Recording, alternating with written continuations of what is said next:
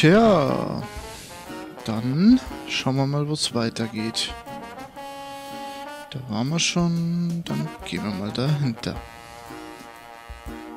Na, jetzt. So, was haben wir denn hier? Kann ich bestimmt irgendwas nehmen.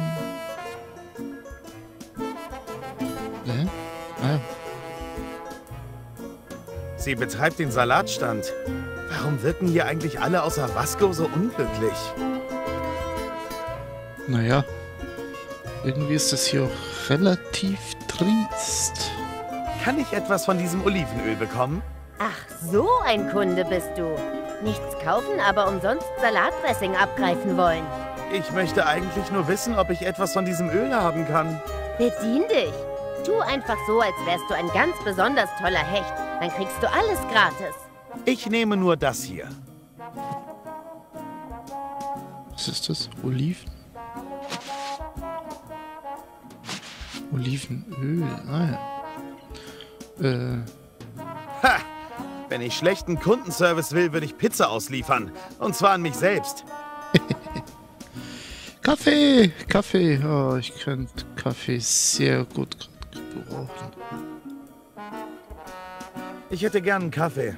Tut mir leid, wir haben geschlossen. Nur Mitarbeiter werden um diese Zeit bedient. Ich bin ein Mitarbeiter. Ach ja? Wo ist deine Marke? Äh, in meinem Maskottchenkostüm. Ich hole es schnell. Ich hätte gern einen Kaffee. Tut mir leid, wir haben geschlossen. Nur Mitarbeiter werden um diese Zeit bedient. Ich bin ein Mitarbeiter. Ach ja? Wo ist deine Marke? Äh, in meinem Maskottchenkostüm. Ich hole es schnell.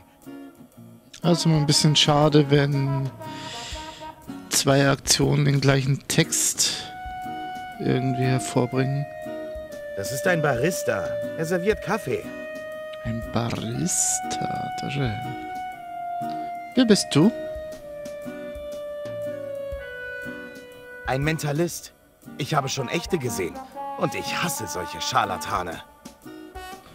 Ein Mentalist. Na dann, mentalisier mich mal. Auf dem Zelt steht, dass du ein Mentalist bist. Kannst du erraten, an welche Zahl ich gerade denke? Ich bin der große Andrew. Ich zeige keine billigen Zirkustricks. Und was zeigst du dann? Sieh her und staune. Du wirst müde, sehr, sehr müde. Erzähl mir was Neues. Es war eine harte Nacht und ich... Wenn du das Wort Geburtshelfer hörst, wirst du etwas aus einem sehr bekannten Franchise. Geburtshelfer. Mein Name ist Guy Bra... Genug jetzt. Geburtshelfer. Ich will nicht, dass Mr. Cavera wegen mir verklagt wird. Was zur Hölle war das? War ich... Hast du... Ja, für einen Moment konntest du spüren, wie es sich anfühlt, in einem großartigen Spiel zu sein. Willkommen zurück in der drögen Realität. Ich bin beeindruckt. Deine Fähigkeiten werde ich bestimmt mal brauchen können. Ich weiß nur noch nicht, wozu. Hm. Kannst du bestimmt, zu wem ich werde? Natürlich. Wer möchtest du sein?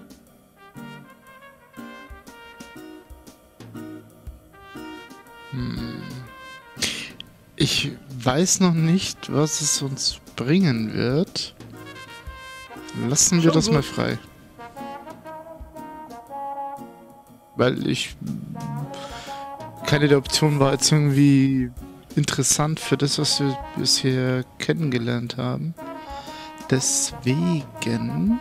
Was haben wir noch? Gewalt ist keine Lösung, Mann. ja, okay. Ne, lass mal den mal aus. Ich habe da irgendwie noch so ein Gefühl, dass sich da noch was entwickelt.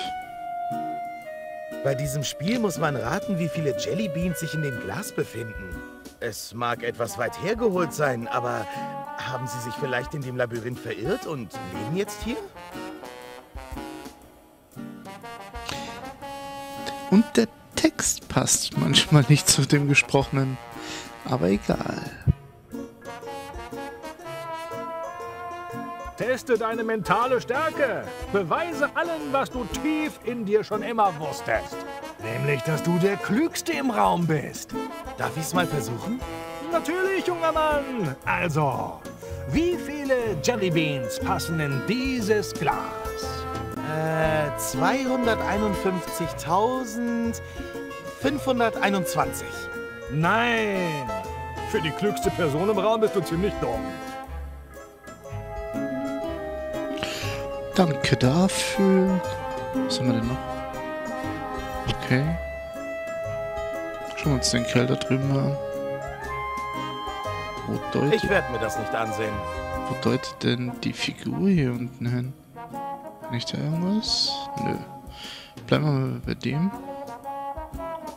Tja, äh, schöner Tag, was? Verzieh dich. Ach komm, ich suche doch nur neue Freunde. Gib mir die Hand. Du willst also mein Freund sein, hm? Ich sag dir was. Du tust mir einen Gefallen und dann sind wir Freunde. Was für ein Gefallen. Ich hatte einen schlechten Tag, einen schlechten Monat, eigentlich sogar ein schlechtes Leben, verstehst du? Mein Hals ist entzündet und ständig schiebe ich Überstunden. Meine Freundin ist unzufrieden und langsam reicht es ihr, verstehst du? Klar, verstehe ich. Du willst das alte Feuer wieder entfachen. Wenn du mir ein Geschenk für meine Freundin bringst, gebe ich dir meine Marke. Sie hat viele Vorteile. Gratis Kaffee zum Beispiel. Es muss schön sein, aber auch was Persönliches. Dann hält meine Beziehung mindestens noch einen Monat. Alles klar. Haben wir irgendwas dabei? Oh, ein Ring. Frauen stehen auf Ringe. Würde das deiner Freundin gefallen? Ich mag den Messingring. Der bringt angeblich Glück. Das ist nichts Persönliches. Das ist irgendwie nicht schön. Ich bring dir etwas Besseres. Oh, Silberkette. Komm schon. Würde das deiner Freundin gefallen? Das ist ganz klar eine Fälschung. Das ist nichts Persönliches. Ich bring dir etwas Besseres.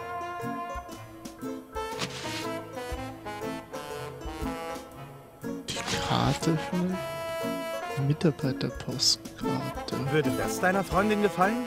Das ist was ziemlich Persönliches. Das ist irgendwie nicht schön. Ich bring dir etwas Besseres.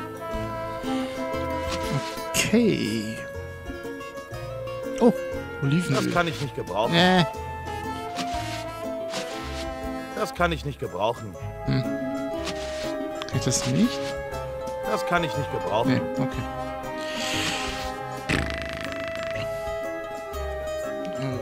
Kette mit Ring. Der Anhänger könnte noch etwas Dekoratives in der Mitte vertragen. Äh, an, ah, oh.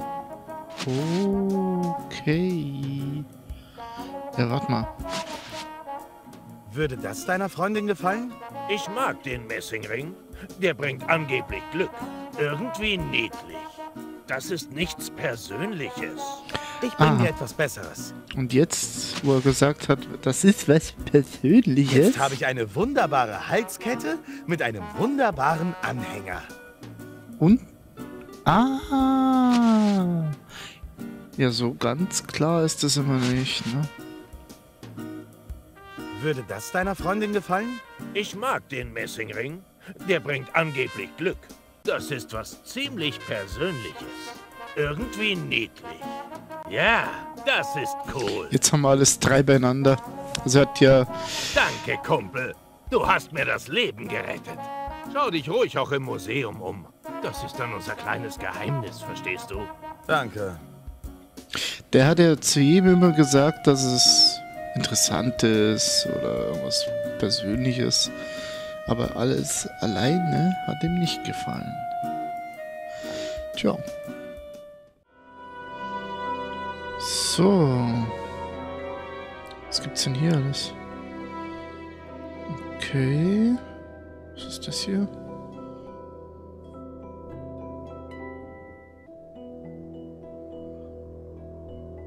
Äh.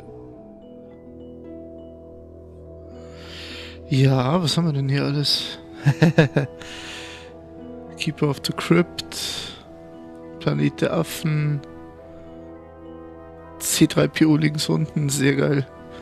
Michael Myers hat äh, sehr- immer sehr viele Hommagen an irgendwelche Filme. Ne? Ziemlich geil. Ease ist mit dabei. Cool. Ja, das ist schon ziemlich geil gemacht. Also die Zeichnungen machen hier echt Spaß. So, was haben wir hier alles? Ich kann raus und ich kann mir hier was angucken. Kupferdraht gehört zu den geläufigsten Stromleitern. Du bist ja klug. Also du bist echt klug. Nehme ich doch mal mit. so.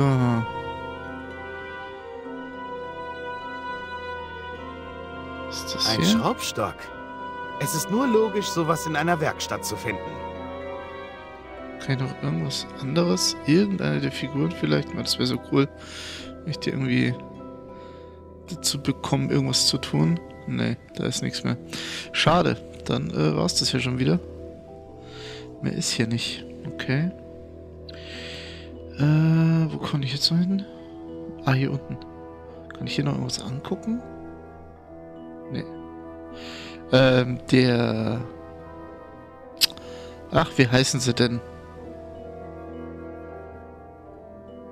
Ziegenbeine, Menschenoberkörper. Wenn man mal das Wort sucht, fällt es einem nicht ein. Links wir Ariel. Sehr geil. Hier ähm, mit dem Schrank und dem ganzen, den, den drei Geschwistern. Narnia, jetzt. Und da gibt es auch den einen hier. Na egal. Ziemlich viel Hommagen. Hier, ah, geil. Ah, herrlich. Was haben wir hier alles? Also ich sehe, ich sehe hier nur. Es gibt hier nichts. Hier rechts Hellboy, ne? Kennt er auch.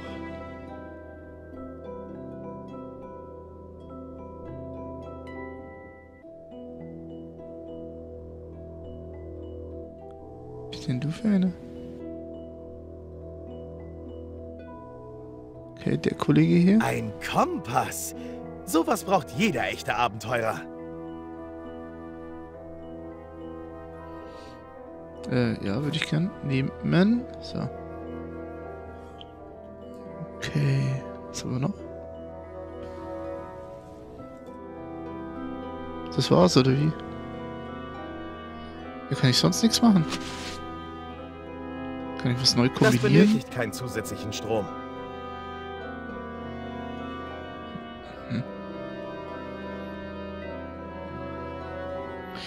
Ja, dann.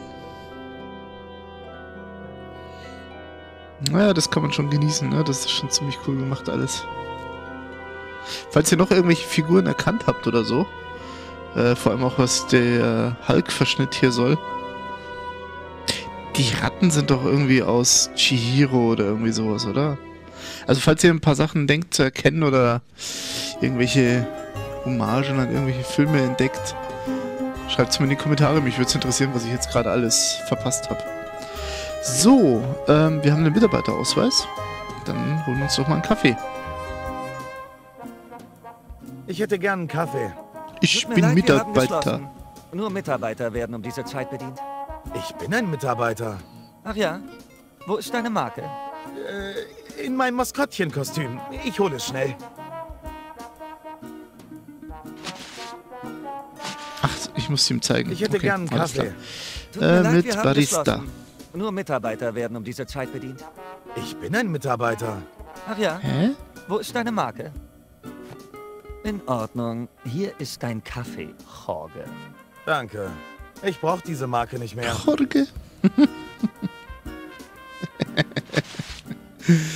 ja, nee, wie ich, nicht, oder? Oh, schade. kann ich nicht okay, gebrauchen. Äh, mal ein bisschen mal zusammen kombinieren. Das kann ich nicht Vielleicht gebrauchen. kann ich ja jetzt schon irgendwas vorbereiten. Nö, okay. Das kann ich nicht gebrauchen. Äh, macht zwar alles keinen Sinn, aber ich probiere es einfach. Manchmal hat es ja Sinn. Nee, bringt nichts. Ja, dann, ähm. Ich glaube, den Kaffee brauchen wir ja für die Hexe, wenn ich mich erinnere.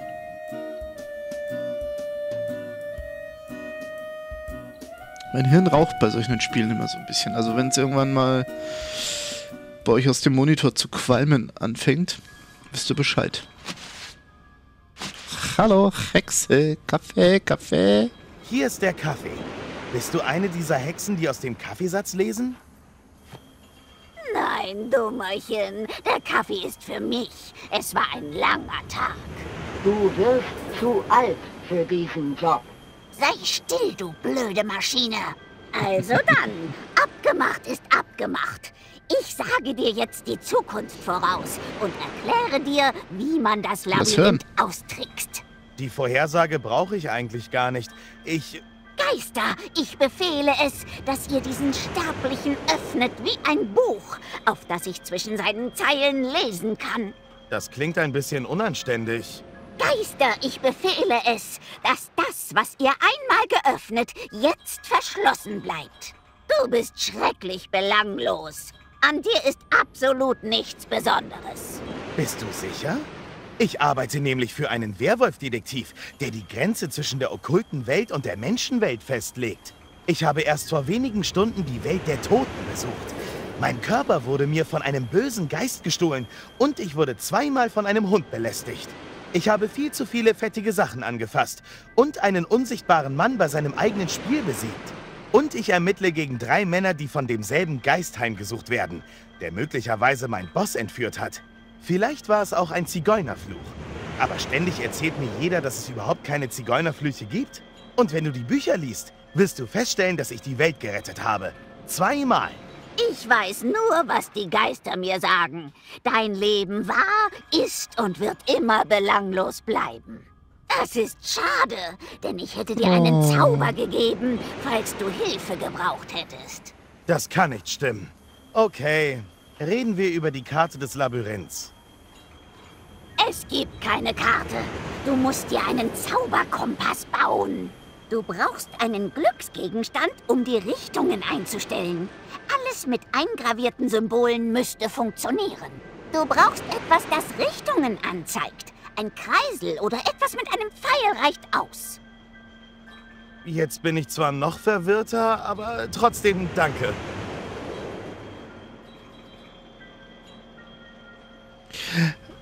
Ja, okay. Äh, alles klar.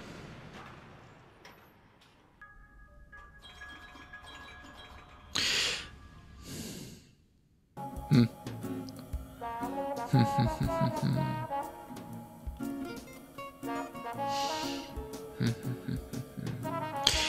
Mein Leben ist zu langweilig.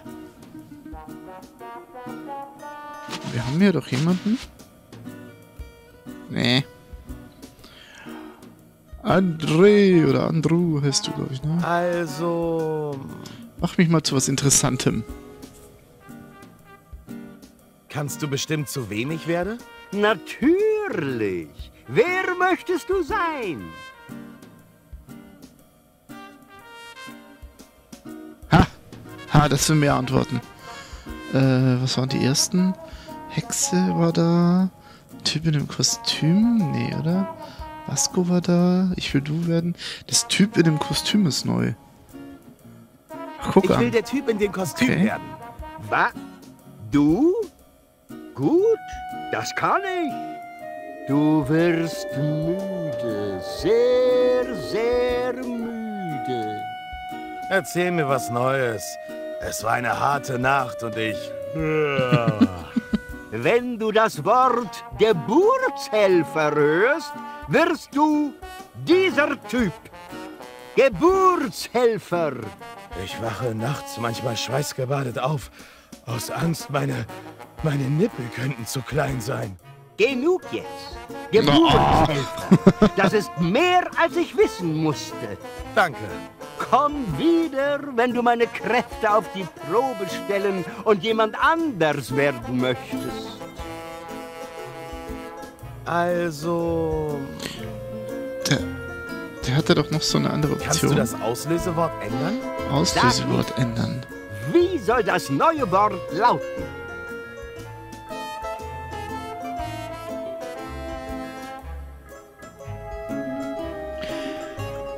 Haha. Geister. Ich befehle es.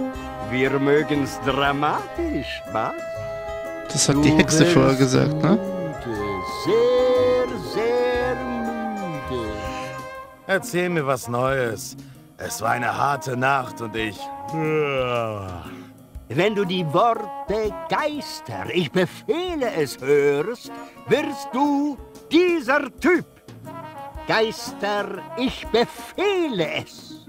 Ich wache nachts manchmal schweißgebadet auf. Aus Angst, meine, meine Nippel könnten zu klein sein. Genug jetzt. Geister, ich befehle es. Das ist mehr, als ich wissen musste. Danke.